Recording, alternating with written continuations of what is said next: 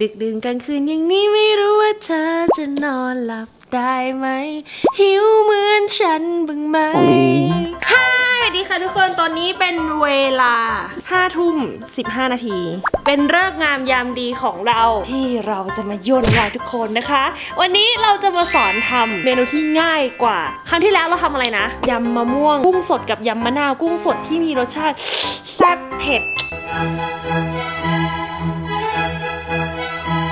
นนี้นะคะ เราก็จะมาทำเมนูที่เป็นเมนูฟิวชั่นแซ่บๆเหมือนกัน แต่เป็นแบบว่าฟิวชั่นญี่ปุ่นกับไทย คือเป็นความแซ่บที่ลงตัวมีความนัวนัวหวานหวานเผ็ดเผ็ดๆเปรี้ยวเปรี้ยวๆเค็มเค็มๆนิดๆนะคะ แล้วก็มีความแบบว่าหรูหราไฮโซเพิ่มขึ้นตามปัด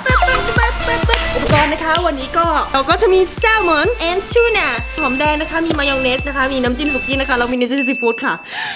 ทุกคนยังฟังไม่ทันใช่ไหมคะ เอาใหม่อีกรอบนึงนะคะ อุปกรณ์วันนี้เอาทันแล้วเหรอโอเคค่ะ เรามาเริ่มกันเลยดีกว่านะคะแ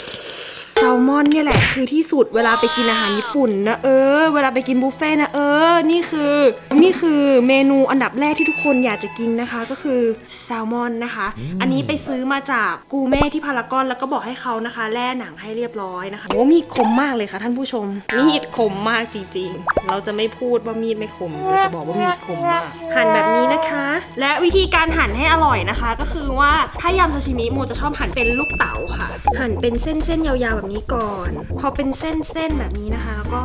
ปึ๊บ มดูนะคะ ความบิ๊กบึ้มนะคะ ถ้าไปกินที่บุฟเฟ่ต์แล้วได้ชิ้นหนาแบบนี้คือฟินมากเอาเข้าปากทีเดียว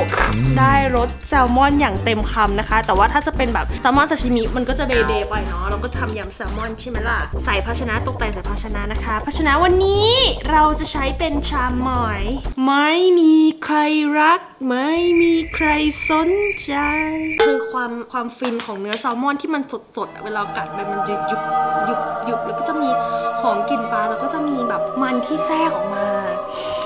ต่อไปนะคะ แล้วก็จะหั่นทูน่ากันค่ะทูน่านะคะก็จะมีเนื้อที่สีชมพูสวย มีลายเส้นแบบเป็นไขมันอ่อนๆนะคะ ตัวนี้ก็จะกินแล้วก็จะได้โปรตีนอย่างสูงนะคะ เนื้อคือมันแน่นมากแกฉันต้องเปลี่ยนมีดว่ะนี่คือมีดอันใหม่นะคะอ๋อโหวันนี้คมสะใจมากกลัวเพื่อนๆจะไม่สนุกกันนะคะ ระหว่างทำตอนกลางคืนนี้นะคะ ขอเปิดเพลงตืดค่ะหนึ่งสองสามปัด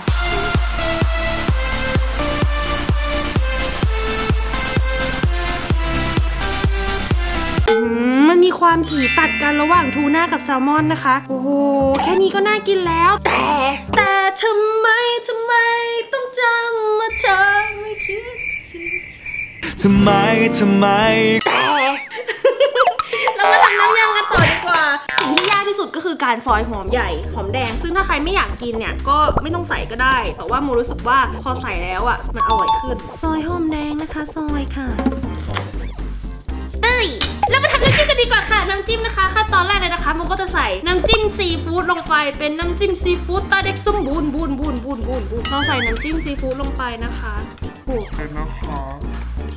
ให้จะบอกว่าใส่ลงไปประมาณ2ช้อนก็ใส่ลงไปเท่านี้แหละ แล้วก็ใส่น้ำจิ้มสุกี้นะคะ พอน้ำจิ้มสุกี้นะคะ ผสมไปกับน้ำจิ้มซีฟู้ดมันจะเกิดมิติรสชาติใหม่เป็นสูตรของเบบี้โมจิโกะใส่ลงไปค่ะ น้ำจิ้มสุกี้นะคะ โมจะชอบใส่ให้มันน้อยกว่าน้ำจิ้มซีฟู้ดนิดนึงนะคะ เพราะว่าเพราะว่าอะไรไม่รู้เหมือนกัน และสุดท้ายท้ายท้ายท้ายท้ายที่ขาดไม่ได้เลยก็คือ การใส่มายองเนสลงไป มันจะทำให้ทุกอย่างแบบนัวคือมันจะเผ็ดเค็มหวานพอดีแล้วพอไปลงไปกับซาชิมิมันก็รู้สึกแบบมีความอินเตอร์มีความฟิวชั่นเราก็จะใส่มายองเนสลงไปนะคะ ประมาณนี้นะจ๊ะแล้วก็ทำการผสมให้เข้ากันสารพัดของกุ๊กกิ๊กว้ายกุ๊กกิ๊กว้ายกุ๊กกิ๊กว้าย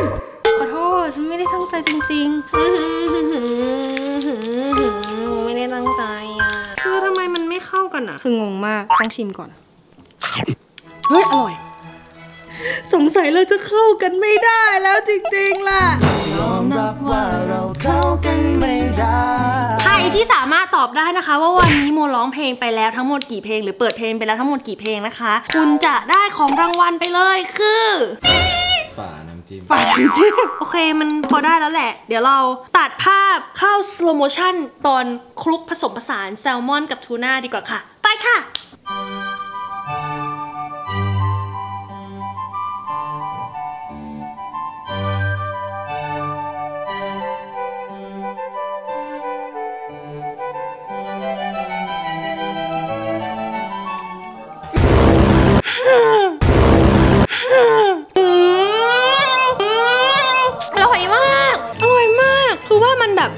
ดจนเกินไปด้วยครั้งที่แล้วอะที่ทำยำมะนาวคือมันจะเผ็ดแซ่บแซ่บจี๊ดจี๊ดมะนาวมะนาวเปรี้ยวจัดจัดๆเลยใช่ไหม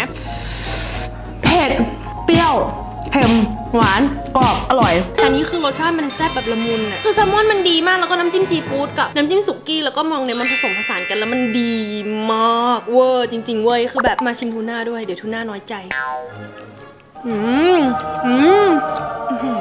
อร่อย เว้ยอร่อยจริงทุกคน อร่อยจริง ชิมชิมชิมให้ชิม อร่อยไหมอืมอร่อยจริงจริง อร่อยมาก อย่าลืมไปทำตามนะคะ แล้วก็สุดท้ายนี้นะคะ อย่าลืมกดไลค์ กด subscribe แล้วก็กดกระดิ่ง อืม